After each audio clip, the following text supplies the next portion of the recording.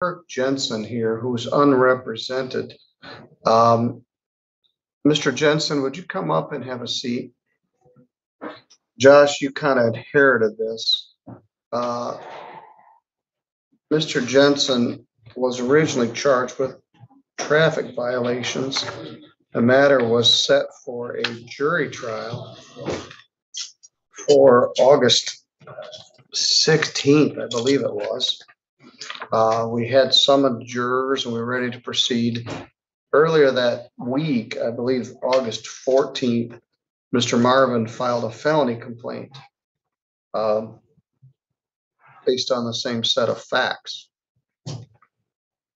So the matter was set for a pre-exam conference. Mr. Jensen has made every court hearing. Uh, But he did express that he wants to represent himself. I offered to appoint counsel at each stage of the misdemeanor proceedings and again in this case. Um, but uh, he declined. So, Mr. Jensen, you still wish to represent yourself in this matter? I wish to have this case completely dismissed. Well, everybody feels that way. Everybody else who wants their case dismissed, raise your right hand. Yeah, that's unanimous. So I, that's not up to me.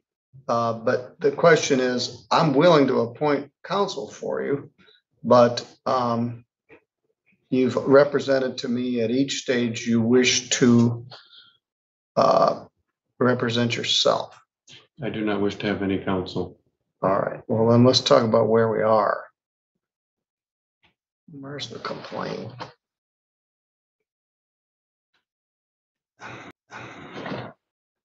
The complaint alleges that on or about April sixth in Lockport Township, that you did obstruct justice by preferring a counterfeit US passport and counterfeit international driver's license at the time of a lawful traffic stop an attempt to avoid criminal liability for driving without a license. The way that is charged, it is a felony punishable by up to five years imprisonment and a fine of up to ten thousand dollars. The second count is possession of a reproduced, altered, counterfeit, or forged chauffeur's license. Operators or chauffeur's license. That's a misdemeanor punishable by up to a year in jail and a fine of up to two thousand dollars. Count three alleges that you had no valid operator's license, plain old no ops. Are also charged with a civil infraction of no proof of insurance. And I object to those, I object to that being uh, labeled as counterfeit on all of those documents. All right. Mr. O'Bear, do you have any instructions here or a plea offer or? So the offer would be if the defendant wanted to plead to count three operating with no license, it's the ninety day misdemeanor. Uh, we would recommend fines and costs.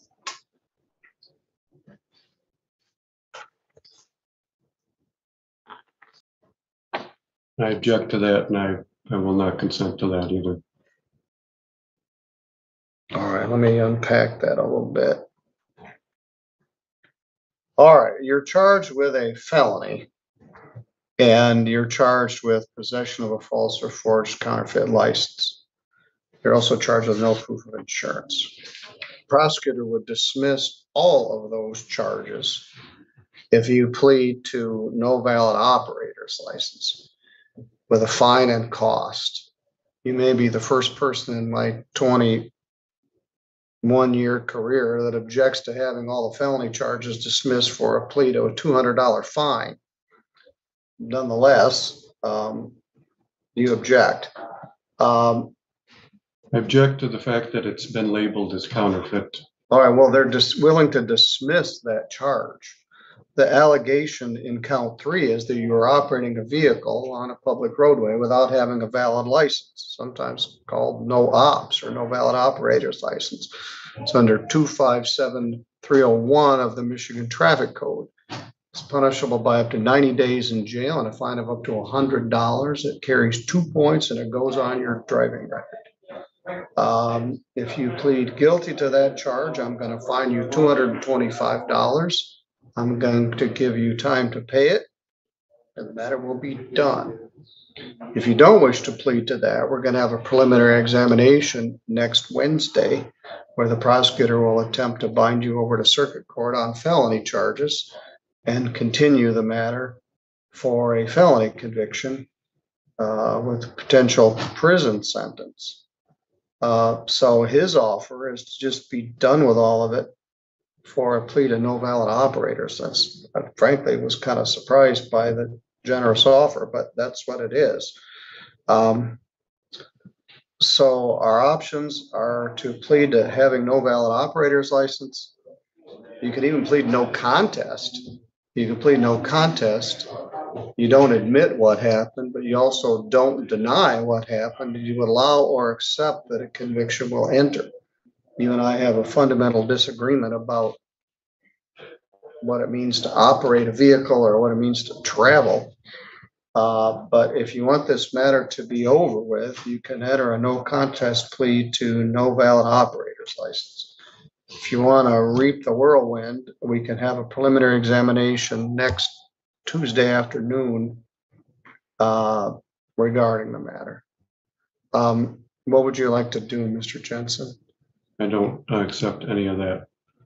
All right, the matter will be set for prelim.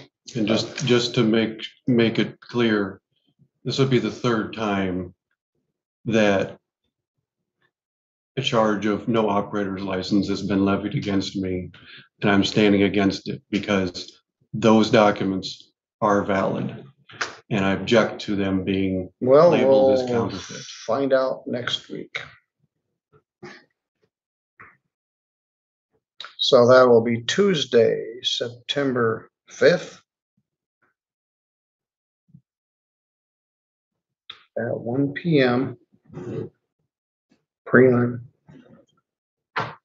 All right, your bond is continued. You're free to go. and just to, and just a reminder of the civil case that is ongoing and those who are named in that yourself and Mr. Marvin as well. Just to Which make sure civil, that which civil case is that? civil case, the notices, and all the recusals and everything that's been filed into this case that I've been filing in. Just to make note of that, that it is, you know, on the record. Well, let's take a look. Oh. You filed a August twenty-eighth, which is yesterday. I got this. I didn't see it. Uh, objection to the report and recommendation in the matter of civil case. Uh, you filed this in federal court? This was done in a federal court, has a federal case number on it. And all the defendants are listed All right. Uh, along with the notice. Oh, it's great pleadings. It cites Abraham and the Book of Nations and a bunch of other jabberwocky. Uh, but it has been filed in the federal court.